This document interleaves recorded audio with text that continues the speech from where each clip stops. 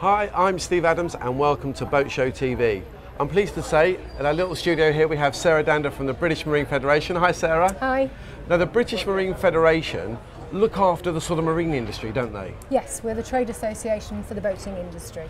Now during the boat show you're here talking to visitors but you have a, a unique stand which is about careers in the marine industry, is that correct? Yep, we have the BMF Careers Zone which is um, designed to be able to provide visitors, both young people, their parents, teachers, everybody who comes to the show, um, with the information about the breadth and variety of careers that are available in the marine industry. Now, British boat building, I know, is worldwide famous for the quality of boats and it's a big industry in the UK.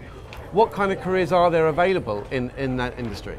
There's all sorts of careers available with the boat builders. All of our boat builders take on a number of apprentices each year, whether they're as apprentice boat builders, marine engineers, carpenters, electricians. And we're working with the National Apprenticeship Service who are with us on the career zone to make sure that the public know all about the opportunities for apprentices in the industry. So in this current climate, I'm, I'm getting a, a, sort of message that actually that there, there are places out there for people to learn a new skill, and, and, and get work?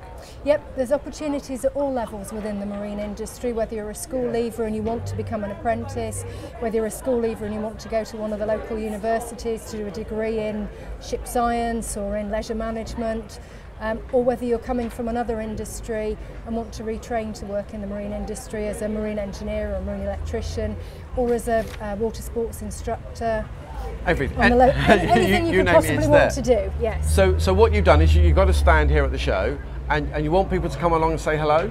Oh yes indeed, yep. And then the people who are on the stand every day can talk about everything from being a marine engineer to being a captain on a super yacht.